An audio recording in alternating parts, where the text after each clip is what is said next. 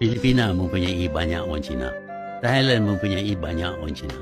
Tapi tak tak dikenali sebagai multiracial country. Mereka masih lagi Indonesia, masih lagi Filipina, masih lagi Thailand. Kenapa di Malaysia nak tukar? Ya kita bagi kelonggaran.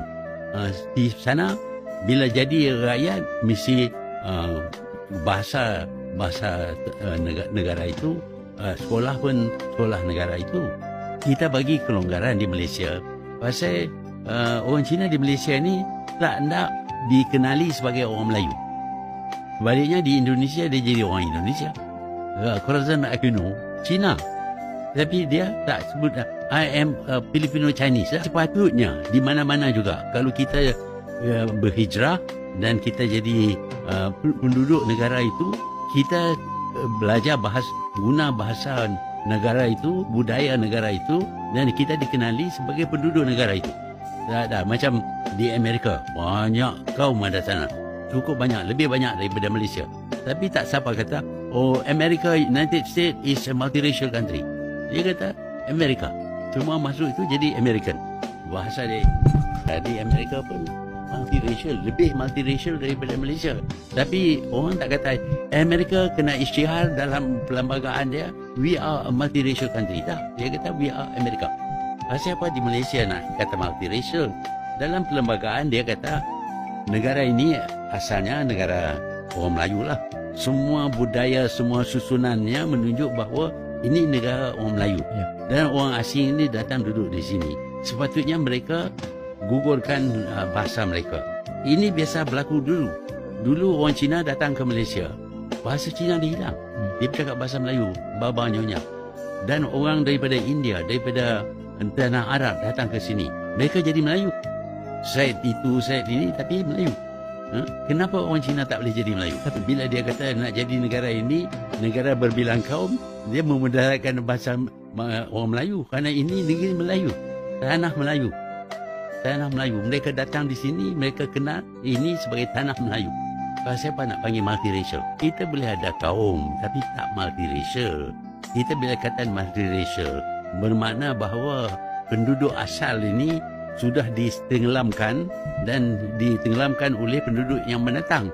Jadi bila ada multiracial, tak ada perbezaan antara orang yang pengasas negara ini dengan orang yang datang kemudian bahkan bahasa mereka, budaya mereka nak dijadikan bahasa dan budaya negara kita. Itu tak boleh.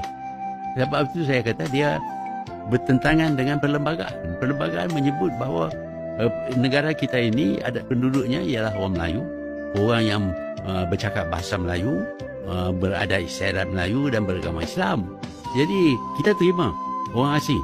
Kalau mereka jadi Melayu.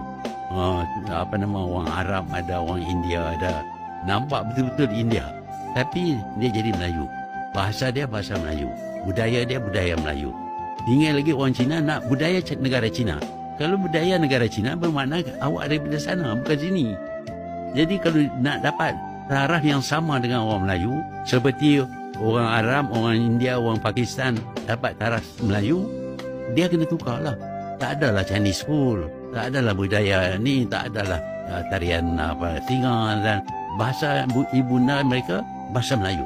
Bahkan dulu biasa berjadi. Dulu baba nyonya apa semua tak berti tak reti cakap Cina, dia cakap Melayu. Ya kita nak selesai. Jangan selesai ditentang oleh orang Cina dan mereka mempunyai uh, jumlah yang besar dan mereka uh, terlibat dengan ekonomi dan mereka menyumbang banyak kepada ekonomi. Kalau kita nak tu paksa mereka juga, uh, mereka uh, yang lari pun ada dah yang migrate di Australia, di England dan sebagainya. Jadi kita masih nak orang Cina ada di sini. Tapi samakanlah dengan orang Melayu. Orang Melayu pun tak minta banyak. Kita kita asal negara kita ini ada asal negara Melayu. Kita tak minta banyak, kita minta 30% saja. 30% saja. Walau orang Cina sekarang ni bukan 40% dan 60% lah. Kita minta sikit, itu pun tak boleh. Kalau kita nak sikit 30% saudara kita, kita mesti ada kuasa untuk melaksanakan program dasar planning yang boleh memberi kepada orang Melayu 30%. Tak banyak. Kata 20% pun tak ada. Jadi yang kaya di Malaysia ni orang Cina. Tapi nak tenggelamkan orang Melayu sama sekali, jadi kaum yang miskin, oh itu kita tak dapat terima lah. Tapi